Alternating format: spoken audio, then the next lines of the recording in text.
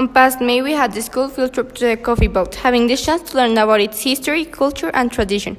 While living a treasuring experience, we specifically visited the department of Quindío, and it took place from 2nd to 5th of May.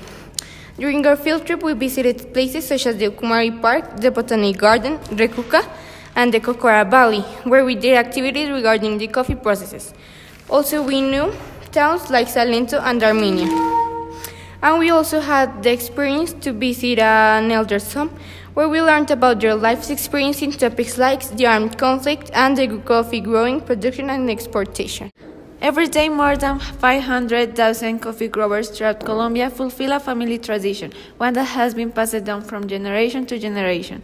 Growing coffee beans across nearly 2.2 million acres of Colombia highlands.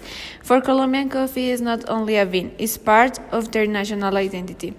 In fact, coffee growing is the largest source of rural employment in the country. For 50 years, Colombia has been submerged in an armed conflict between guerrilla, paramilitary groups, and the National Army. It was a violent situation and it affected a huge percentage of the Colombian population, because some of them were displaced of their houses and others were affected economically. Now, regarding the coffee belt, this region was highly affected because of the strategic position for the armed groups thanks to its potential economical and economical sustenance for coffee growing and marijuana.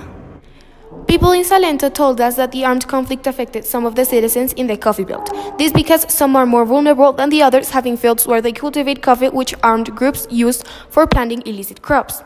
The coffee represents an important part of the coffee belt because it's the most produced grain of them all and it gives a good sustenance for living. However, there are big consequences that come with it. For concluding this video, it's important to realize that even though we went to where the coffee is produced in the coffee belt, we didn't have the opportunity to appreciate how bad the situation really is. But we know that it's a violence problematic that has killed many citizens of the world.